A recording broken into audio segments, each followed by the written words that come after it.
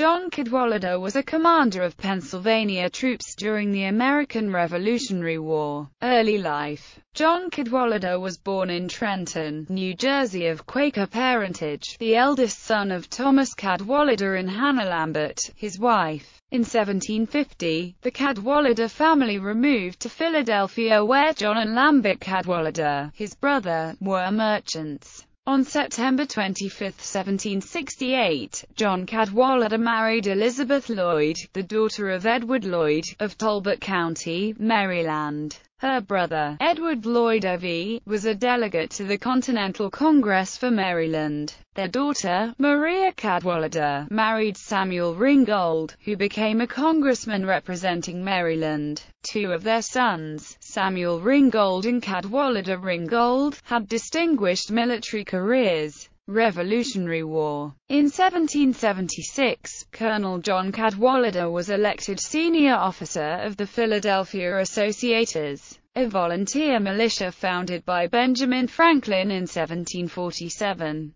By December, Cadwalader and the Associators were positioned about 10 miles south of Trenton on the west side of the Delaware River in Bucks County. Pennsylvania at the ferry between Bristol, Pennsylvania and Burlington, New Jersey. Cadwalader had received orders to send his column across the river on the night of December 25-26 and marched to Trenton from the south.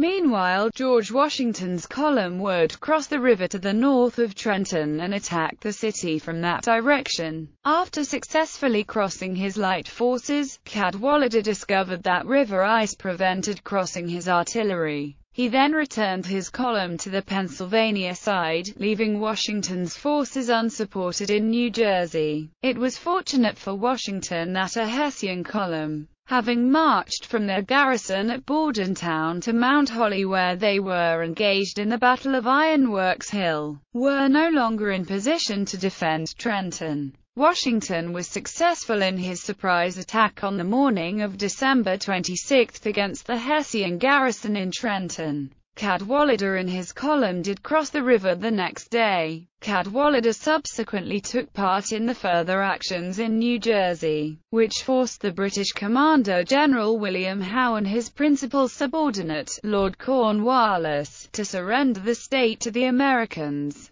After the Conway Cabal, he fought a duel with Thomas Conway in 1778 in which Cadwalader wounded his opponent with a shot in the mouth. Supposedly Cadwalader, a supporter of Washington throughout the cabal, boasted, I have stopped that damned rascal's lying anyway, as he stood over the bleeding Conway. Later life John Cadwalader married Williamina Bond, daughter of Dr. Phineas Bond, of Philadelphia. Their son, Thomas, like his father, became a general of the Pennsylvania militia. Their daughter, Frances, married David Erskine, 2nd Baron Erskine, who was the British ambassador to the United States from 1807 to 1809. In 1779, Cadwalader became a trustee of the University of Pennsylvania and returned to his estate on the banks of the Sassafras River at Shrewsbury. Kent County, Maryland.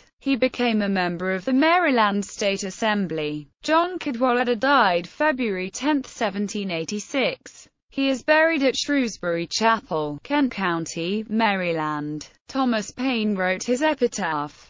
His early and inflexible patriotism will endear his memory to all true friends of the American Revolution. It may with strictest justice be said of him, that he possessed a heart incapable of deceiving. His manners were formed on the nicest sense of honor and the whole tenor of his life was governed by this principle. The companions of his youth were the companions of his manhood. He never lost a friend by insincerity nor made one by deception. His domestic virtues were truly exemplary, and while they served to endear the remembrances they embitter the loss of him to all his numerous friends and connections. Furniture John and Elizabeth Cadwalader built a city house on 2nd between Spruce and Union Streets in Philadelphia in 1770. And commissioned suites of furniture from cabinet makers such as Thomas Affleck and Benjamin Randolph. Surviving pieces are among the finest and best documented Philadelphia Chippendale furniture ever made. Colonial grandeur in Philadelphia. The house and furniture of General John Cadwalader examples are in the Metropolitan Museum of Art, the Philadelphia Museum of Art, the Winterthur Museum, and other collections. A Cadwalader easy chair with hairy paw feet by Affleck sold at Sotheby's, New York for $2.75 million on January 31, 1987, setting a world record for the highest price ever paid for any piece of furniture at auction. Family tree